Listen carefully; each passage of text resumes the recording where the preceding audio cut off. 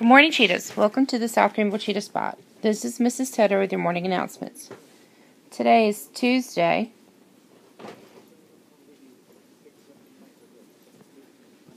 November 3rd, 2015.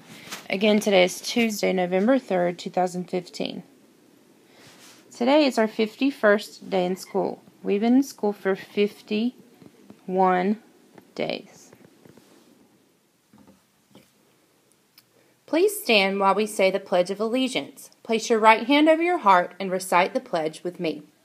I pledge allegiance to the flag of the United States of America and to the republic for which it stands, one nation, under God, indivisible, with liberty and justice for all. Thanks, cheetahs. You may be seated. After you've made it to your seat, we're going to pause for a moment of silence.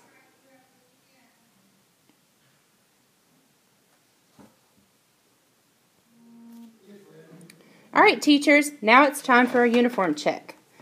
Boys' shirts need to be tucked in at all times.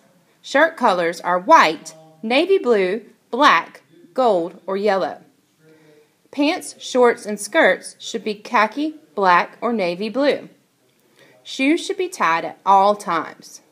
No coats or hoodies are allowed in the building unless you have a uniform approved sweater or jacket, which has no hoodie and no logo.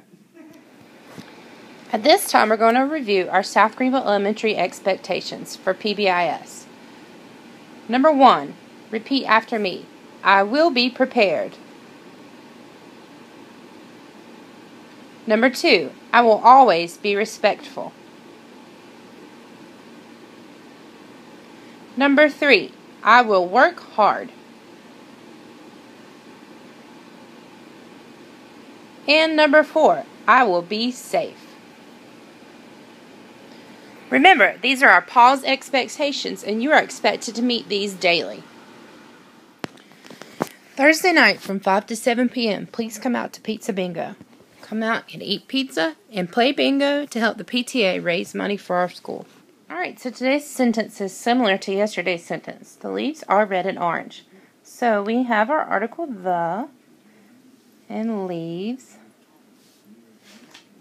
The article like the little pre word to our sentence. Leaves is our subject. Are, and here's where we do something different because we have two words that they are kind of like a list, and we have the word and in between. So we make what this looks kind of like a fork here. So they are red and orange. And that's how you diagram a sentence with and. So, something your teachers may have showed you in your classrooms, if you are in kindergarten or first grade, you will see this poster called Give Me Five.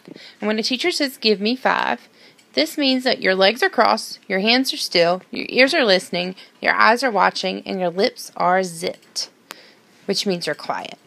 So, when the teacher asks, Give me five, you quietly raise your hand and give them five fingers so that they know that you know you're doing what you should be and you're being a positive example for others around you. For second through fifth grade, give me five means eyes on the speaker, that you're quiet, you're going to be still, your hands are free, which mean that you've put everything down and you're not touching or playing with things, and that you're ready to listen. So, be on the lookout for your teachers to say, Give me five, and give them five and show them the right way that things should be done at South Greenville. Be a positive example for others around you. Happy birthday today to Mrs. Hartley. Woohoo! Happy birthday!